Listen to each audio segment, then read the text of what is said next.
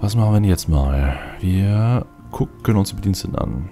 Ja, wow. Gesamtkapazität 55. Das ist ordentlich. Ähm, ich nehme nochmal drei davon dazu, damit wir mehr verwirren können. Damit wir die ganzen Zivilisten nicht mehr umbringen. Äh, und den Rest hier rein. Achtung, so viele Bedienstete können nicht So. Sehr schön. Ja, doch, langsam läuft das echt gut. Bin quasi über den Berg. Also ich war ja kurzfristig recht äh, frustriert, weil ich nicht so weitergekommen bin und die Sachen nicht so funktioniert haben, wie ich sie mir gedacht hatte. Aber jetzt wird das doch langsam. Und ist der Tourist gerade rübergerollt? Wie geil. So, er hat es geschafft. Jetzt laufen wir da lang. Genau, du willst da reingehen. Es ist eine Zweiertür.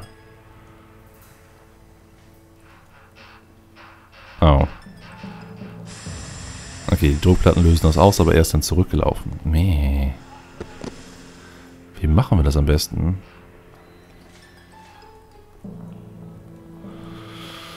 Hm.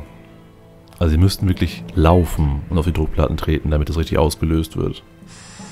Oder durch den Zufall dann gerade drauf stehen. Vielleicht gibt es aber später bessere Sensoren, die wir dann unter die Fallen bauen können.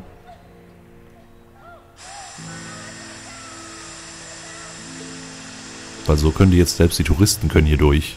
Und das kann nicht Sinn des Ganzen sein. Äh. Ah doch, jetzt ist eine Zahl gerade reingetappt. Sehr gut. Also nicht sehr gut, dass ein Tourist ist, aber naja. So, du wirst verwirrt. Du wirst verwirrt. Du wirst verwirrt. Und die Tür sollten wir ja auch eigentlich abreißen. Ach, genau, eine Kühlkammer sollte, glaube ich, hier unten hin. Gefrierkammer, sicher. Genau. Äh, wir hätten gerne... Gefrierkammerregal. Äh, Ja, da einfach mal hin. Dann bauen wir erstmal einen dahin, das reicht. Und dann pflanzen wir das andere auch um, die anderen beiden reißen das dann hier ab und können irgendwas anderes dahin bauen. Das wäre dann schon mal noch eine Tür weniger, die abgeht von diesem Raum. Vor allem eine Tür weniger, die zu einem gefährlichen Bereich führt. Und sehr gut, ein Agent wird vergast. Und er hat es überlebt. Das war so nicht geplant. So, die haben das ausgelöst. Geht vorher runter. Jetzt geht er durch. Ja, hihihihi. Kamera drehen. Und den hat's erwischt. Sehr gut. Und er läuft panisch davon. Au, aber dadurch, dass er jemanden hat sterben sehen, hat er belastendes Material und hat jetzt diesen roten Balken bekommen. Äh, nicht gut. Kane, wo bist du? Bestimmt ganz woanders, hm? Jo, ganz hinten. Ärgerlich. Also der wird jetzt entkommen können. Hm, Die Fallen vielleicht doch weiter nach hinten stellen. Damit wir mehr Zeit haben. Ja, ich glaube, das müssen wir machen. Also du. Irgendwo können wir die Ecken hier ausnutzen. Warte mal, ich lasse die Fallen erstmal da, wo es ist. Äh, Escape. So. Und gucken, was wir noch für Fallen haben. Giftgas Giffy-Falle. Die ist mir nicht so wirklich geheuer. Weil man den nicht auf demselben Feld machen kann wie die Druckplatten. Ich hätte gerne einfach so ein Geschütz, das schießt oder so. Windmaschinenfalle, nee, haben wir auch schon. Eine Pappaltrappenfall. Hm.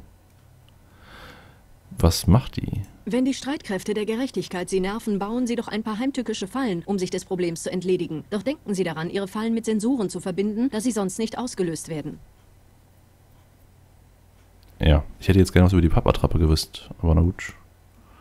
Schade. Noch irgendwas? Eine Crashtest-Puppe. Damit soll man überprüfen können, wie die Fallen funktionieren. Aber das wissen wir jetzt ja. Hm. ja anscheinend haben wir da noch nicht so die große Auswahl. Weltkarte? Oh. Alle tot. Zwei tot. Ah ganz schön viel um. Und das, obwohl die Wut so niedrig ist. Das ist echt komisch. Wer solltet ihr doch nicht so sehr verteilen? So, ich ziehe jetzt erstmal, also erstmal Pause. Erstmal ziehe ich jetzt alle ab. So. Und dann probiere ich mal einfach ganz viele in ein Land zu schicken. Dann wird wahrscheinlich noch eher ein Agent auftauchen, aber vielleicht schaffen wir dann ja den Agenten umzubringen. Oder wir verlieren nicht ganz so viele. Es kann natürlich auch genau das Gegenteil passieren, dass wir einfach alle verlieren, weil wir so äh, stark aufgetreten sind, dass sie eine ganze Armee hingeschickt haben. Aber ja, das testen wir einfach. Ähm, wir schicken die ganzen Jungs jetzt mal in ein Land, wo sich das auf jeden Fall lohnt. Da. 1, 2, 3, 4, 5, 6, 7. Zack. Und wenn das dann auch nichts wird, dann warten wir halt eine Weile, bis wir neue Bedienstete bekommen mit der Zeit. Die 14.000 dürften ja für eine Weile erstmal reichen, während ich hier am Rumexperimentieren bin, wie wir die Basis dann am besten aufbauen. So, ist die Gefrierkammer inzwischen eingerichtet? Nein, ist sie nicht. Steht eh er hier optimal? Äh, ist ein bisschen schwer, ihn hier zu bewegen. Aber ja, es müssten eigentlich alle drin sein. Nochmal ticken weg. Dahin. So, ja, sehr gut. Alles besetzt, alles sehr gut. Geldkoffer haben wir jetzt auch zwei Stück. Strom. Sechs Punkte haben wir noch. Das müsste eigentlich reichen. Und das Ding ist hier nur für Notfall. Hey, wir, wir könnten einfach den Raum hier weiter ausbauen. Aber nee, können wir nicht. Weil die Sprengmeister nicht rankommen würden. Das heißt, wir müssen irgendwo noch einen zweiten Generatorraum bauen. Was aber ja nicht so das Problem ist. Könnten wir einfach hier, hier hinten machen mit einer Tür nach da damit die Saboteure nicht so leicht herankommen. So, Karte sagt, alle sind da, Wut steigt. Ich würde gerne benachrichtigt werden, sobald das erste Mal die angegriffen werden, aber das klappt wohl nicht. Wir sind bei 55, okay. Der Aufenthaltsraum wird nicht wirklich viel genutzt. Ist da irgendwas falsch mit? Abnutzung fast gar nicht. Hm. Vielleicht wollen die mehr haben. Und er läuft einfach nur so rum. Ist ja auch komisch. Äh, aber ja. Oh, wir haben jetzt mehr von den Kammerdienern. So muss das sein. Können wir gleich noch mehr Leute verwirren, wenn sie dann reinkommen. Er hier ist zum Beispiel gerade schon gegangen. Oder wird gleich gegangen. Nö, der macht irgendwas anderes. Ein Hubschrauber mit Ermittlern. Ne, da kommt was anderes an. Was kommt denn da? Äh, okay, die Touristen fliehen. Viele Touristen fliehen. Mal gucken, was für eine Reaktion das hat. Ich hätte gern so zwischendurch Schlagzeilenmeldungen. Touristen entfliehen Terrorinsel oder irgendwie sowas. Und was für Konsequenzen das dann hat. Aber na gut. Ähm, Geld fließt weiter. Ja. Tut es. Und ja, die Spezialmission sollten wir langsam auch angehen, um unsere Bekanntheit zu steigern. Aber ich denke mal, dass das Spiel dann an sich auch dadurch schwieriger wird.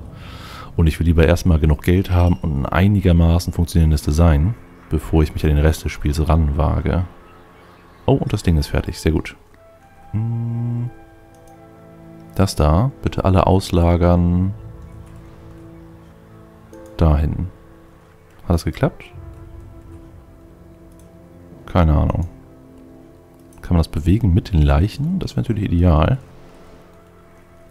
Du. Dahin. Anscheinend schon. Oder sonst schmeißen sie ihn einfach hier auf den Boden. Jungs, was macht ihr? Er klappt das ganze Ding einfach ein und die Leichensäcke verschwinden. Oh, das könnte ein Bug sein. Wenn das Ding gleich wieder aufgestellt wird und da sind keine Leichen mehr drin, wäre das eine recht äh, cheatige Lösung, um die Leichen loszuwerden, also schnell loszuwerden. Einfach ein Feld verschieben. Aber das wollen wir ja gar nicht. Genauso wie den Raum abreißen. Da würden wahrscheinlich auch alle verschwinden. Oh, und die Betten werden knapp. Damit hätte ich jetzt irgendwie nicht gerechnet. Aber gut, wir hätten gerne ein Etagenbett.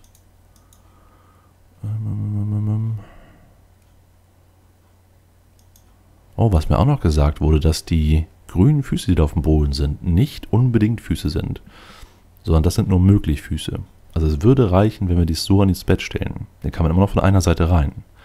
Wenn da jetzt dunkelgrüne Füße wären, dann muss unbedingt beides frei sein. Was uns jetzt nicht wirklich hilft. Aber für spätere Designs wäre das vielleicht ganz praktisch. Also bauen wir jetzt hier noch zwei Betten hin.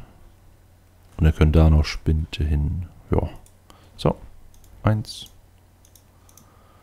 Und zwei. Die kosten ja nicht viel. So. Und da kommt der Rest Spinde hin. Und dann ist dieser Raum auch erstmal fertig. Dann machen wir später, wie gesagt, noch oben einen hin. Und vielleicht noch irgendwo einen ganz kleinen. So können unsere Bediensteten sich jederzeit hinlegen und ausruhen. Das äh, halte ich für eine gute Idee. So, da noch. Da noch 22.000. Oh, der ist falsch. Äh, du dreh dich mal. So. Und der letzte. Klick, klick. Na komm schon. So. Sauber. Weltkarte. Hm. Immer noch okay. Aber ich glaube, ich ziehe die einfach mal freiwillig ab. Und setze sie in das andere Land, das genau die gleichen Werte hat. Und so ping-pong ich die jetzt eine Weile äh, hin und her und guck mal, ob das so aufgeht. Wäre ja ganz schick. Oder ob die sich das merken. So, der Tag kann weg. Die ist nicht mehr relevant. Der da kann ruhig in die Waffenfalle laufen. Wenn er dann nicht abgelenkt wird.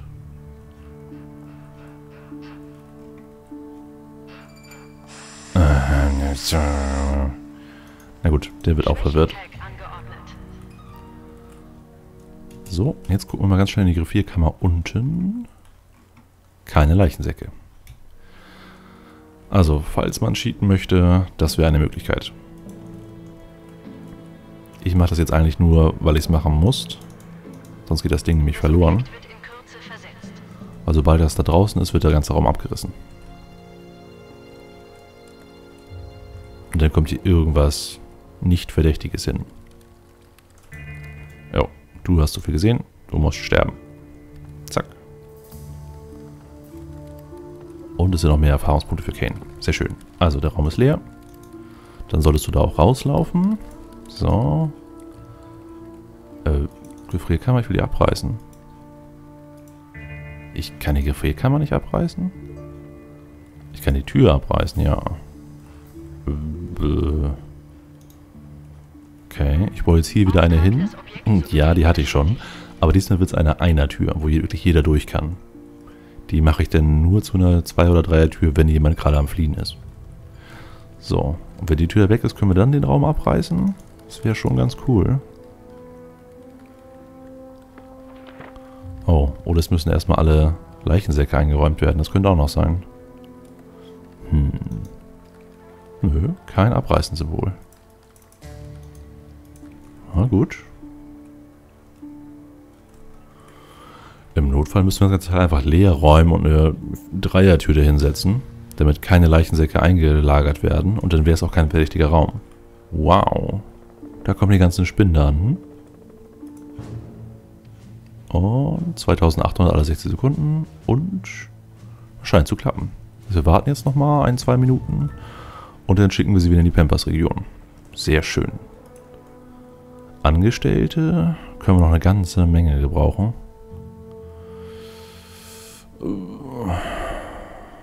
Ich bin versucht, das mal hochzusetzen.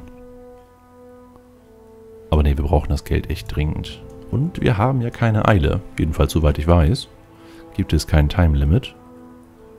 Also müssen wir einfach nur geduldig genug sein. Leichensäcke sind da, sehr gut. Oh, ich sehe gerade, wir haben keine Türen hier. Das ist nicht gut, falls irgendjemand sabotieren will. Da und da. Da sowieso. Können wir aber nicht wegen der Stechuhr. Okay, du musst dahin. Sehr gut. Äh, können wir noch nicht sprengen. Das Ding muss bewegt werden. Dahin. Das Ding muss bewegt werden. Dahin. So. Und in der nächsten Folge muss ich unbedingt dran denken, dass wir hier oder hier oder hier eine neue Geldkammer reinbauen.